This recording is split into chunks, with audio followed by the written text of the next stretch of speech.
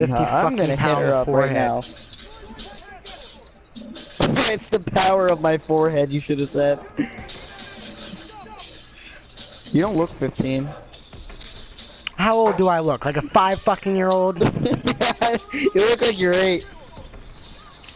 Fine then. Imagine me when. I'm gonna be 90, bro. I'm gonna look like a fucking 20 year old.